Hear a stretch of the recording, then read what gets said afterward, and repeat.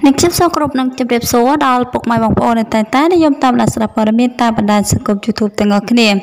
ថ្ងៃនេះដែរនេះខ្ញុំបានលើកយកព័ត៌មានថ្មីមួយទៀតហើយយកមកចែកជូនពុកម៉ែបងប្អូនទាំងអស់គ្នាឲ្យបានដឹងដែលមានចំណងជើងថាមានអ្នកទម្លាយក្បួនបោកលុយមនុស្សធម៌របស់អតីតសង្ឃកក្កដាសុភ័ណ្ឌច្រើនដល់ម្លឹងចា៎ ចាត់តែមុននឹងឈានចូលដល់ព័ត៌មានសូមពុកម៉ែបងប្អូនមេត្តាចុច Like Share Subscribe និងសញ្ញារូបកណ្ដឹងដើម្បីទទួលបានព័ត៌មានថ្មីៗជារៀងរាល់ថ្ងៃចា៎ចាបងអូនស្រីម្នាក់ដែលមានឈ្មោះពេជ្រសូលីចាស់ជាតារា Facebook ល្បីឈ្មោះម្នាក់ដែលចូលចិត្តថតវីដេអូខ្លីបែបកំ pl ែងជាដើមហើយស្រាប់តែថ្មីថ្មីនេះបាន live វីដេអូបកអាក្រាតមុខមាត់ពិតអតីតសង្ឃកក្កដាសុភ័ណ្ឌ ដែលបោកលុយញោមចាសំតោញាតញោមដោយប្រើប្រាស់រូបភាពមនុស្សធម៌តែមិនដឹងថា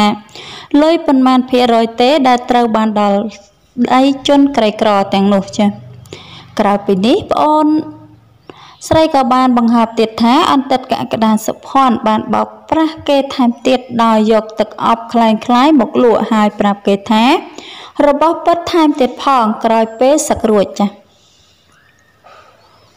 នៅមានរឿងជាច្រើនដែលប្អូនស្រីពេជ្រសូលីបានទម្លាយពីជីវិតរបស់អន្តិតកក្កដាសុភ័ណ្ឌទៀតនោះគឺនៅពេលបួសជាសង្ឃគឺជននេះបានបោកប្រាស់គេថាខ្លួនជាកូនកំព្រាហើយគ្មានលទ្ធភាពក្នុងការរៀនសូត្រដែលបោកប្រាស់ញោមញាតក្រៅប្រទេស បានប្រាក់ជាច្រើនដើរហឺហារហូតមានឈ្មោះថា ជាសង្ឃហានខ្លះនៅ នៅកម្ពុជាផងដែរ